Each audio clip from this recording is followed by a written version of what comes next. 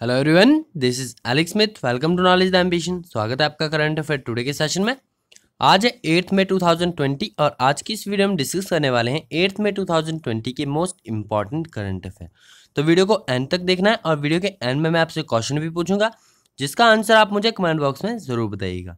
तो स्टार्ट करते हैं। Let's start our day with some positive vibes तो आज का विचार है स्टीव जॉब्स का। स्टीव जॉब्स के बारे में आप जानते ही होंगे। स्टीव जॉब्स काफ़ी संघर्षों के बाद जो है इन्होंने एक अपना मुकाम,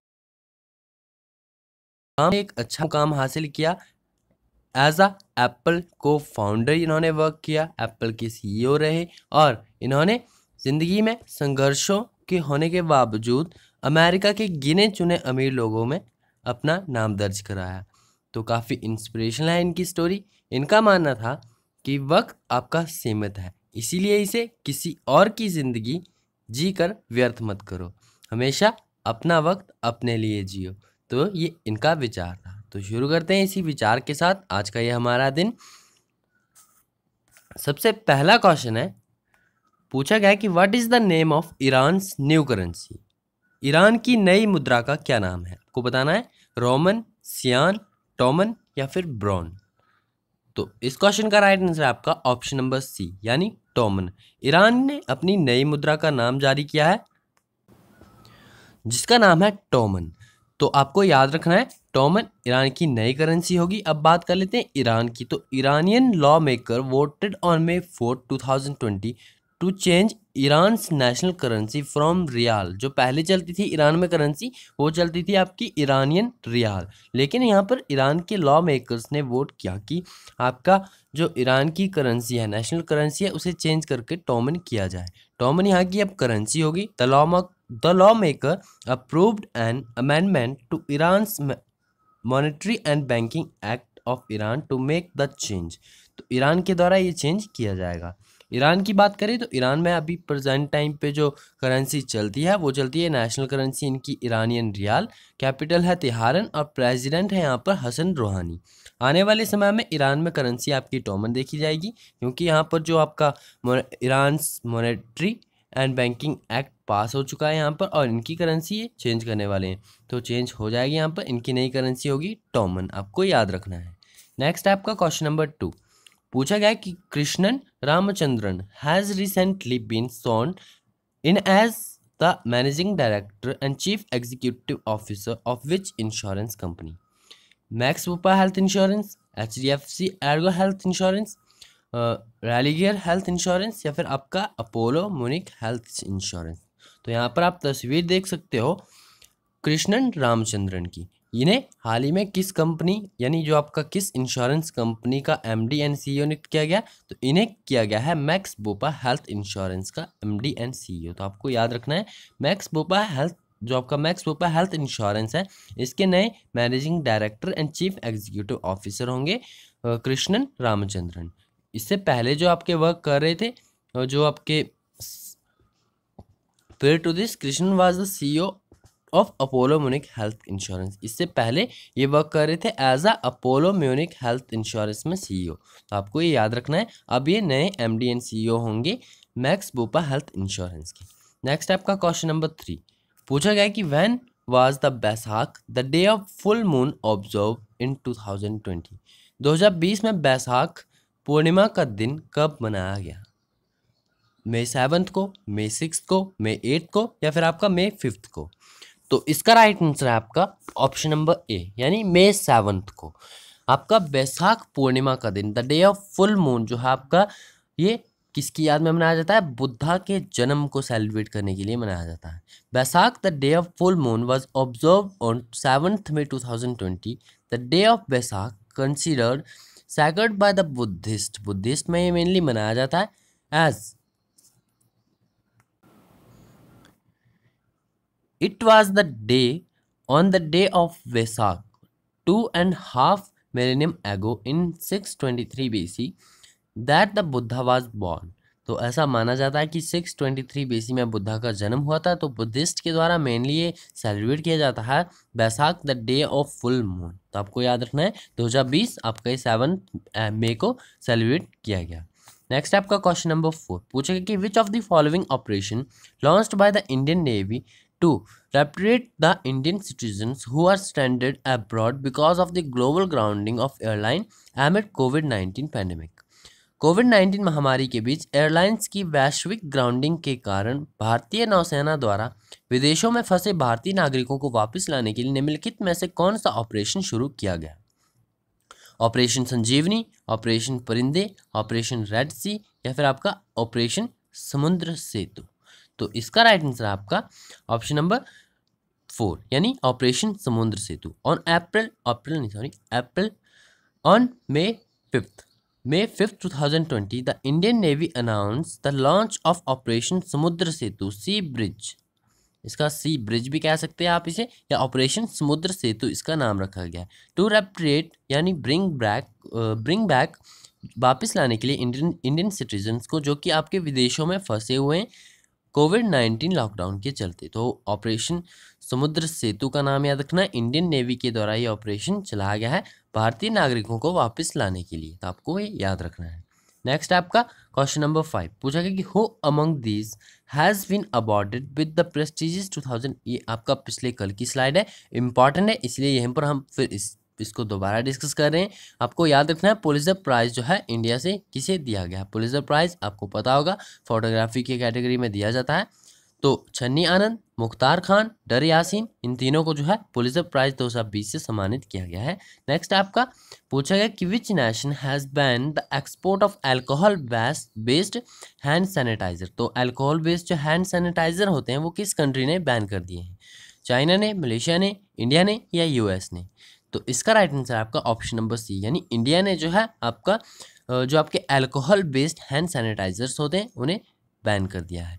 नेक्स्ट आपका क्वेश्चन नंबर सेवन पूछा गया कि which among the following cities witness a horrific toxic gas tragedy on May seven two thousand twenty तो इसके बारे में आपने न्यूज़ में सुना ही होगा। विशाखापट्टनम में जो है एक आपकी भयानक जहरीली गैस त्रासदी देखी गई सेवन्थ मई टू थाउज़ेंड ट्वेंटी को, जिसमें कि आपके ग्यारह ग्यारह लोगों की मृत्यु हो गई और एक हज़ार से भी ज़्यादा लोग जो है इन्फेक्टेड हैं इस गैस त्रासदी के कारण। तो आपकी काफ़ी एक भयानक गैस त्रासदी देखने को मिली विशाखापट्टनम में। The LG LG polymers plant located in Visakhapatnam witness a horrific gas tragedy early morning early morning on May seven two thousand twenty toxic styrene styrene जो आपकी टेक टॉक्सिक स्टेरिन गैस है लीक्ड लीक हो गई थी from one of the unit chamber around three A M रात की जो आपके तीन बजे जो है, एक आपकी गैस लीक हो गई थी के चैम्बर से। टॉक्सिक स्टेरिन इस गैस का नाम है। इस गैस का नाम आपको याद रखना है, जो आपकी स्टेरिन गैस है। ये लीक हो गई थी इसके एक यूनिट चैम्बर से, जिसके कारण ग्यारह लोगों की मृत्यु हो गई है और एक हज़ार से भी ज़्यादा लोग अभी तक इन्फेक्ट हो चुके हैं इससे तो याद रखना है आपको, विशाखापट्टनम में हुई थी। नेक्स्ट आपका क्वेश्चन नंबर एट पूछा कि who has been conferred with the 2020 young career award in nano science and technology तो यहाँ पर आप इस पर्सनैलिटी की तस्वीर देख सकते हो। इन्हें हाल ही में जो है नैनो साइंस एंड टेक्नोलॉजी में 2020 में युवा कैरियर पुरस्कार से सम्मानित किया गया है। तो इनका नाम क्या है? इनका नाम है सौरभ लोधा। सौरभ लोधा इनका नाम है।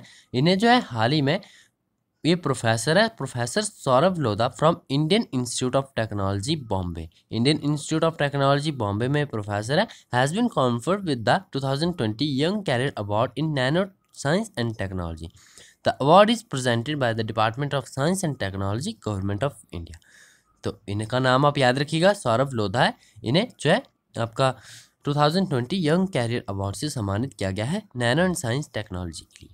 नेक्स्ट आपका क्वेश्चन नंबर नाइन पूछा गया कि who among the following has been conferred with the commemorative world war second medal in 2020 by Russian president Vladimir Putin तो रशिया के प्रेसिडेंट व्लादिमिर पुतिन के द्वारा जो है 2020 में द्वितीय विश्व युद्ध के, द्वितीय विश्व युद्ध के पदक से किसे सम्मानित किया गया है? यानी जो आपका वर्ल्ड वॉर सेकेंड मेडल दिया गया है 2020 में, वो निम्नलिखित में से किसे दिया गया है?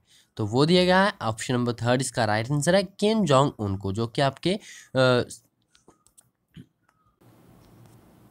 जो कि नॉर्थ कोरिया के आपके प्रेसिडेंट है किम जोंग उन तो इन्हें जो है सम्मानित किया गया है रशियन प्रेसिडेंट व्लादिमिर पुतिन के द्वारा। आपको याद रखना है, Russian president Vladimir Putin has awarded the commemorative world war second medal to North Korean leader Kim Jong Un on May fifth two thousand twenty to mark the seventy fifth anniversary of nineteen forty forty five victory over Nazi Germany तो Nazi Germany के ऊपर victory की ये seventy fifth anniversary को celebrate करने के लिए जो है, ये अवार्ड दिया गया है किम जोंग उन को रशियन प्रेसिडेंट व्लादिमीर पुतिन के द्वारा। तो आपको ये याद रखना है, जो आपको वर्ल्ड वॉर सेकेंड ये मेडल दिया गया है किम जोंग उनको दिया गया है।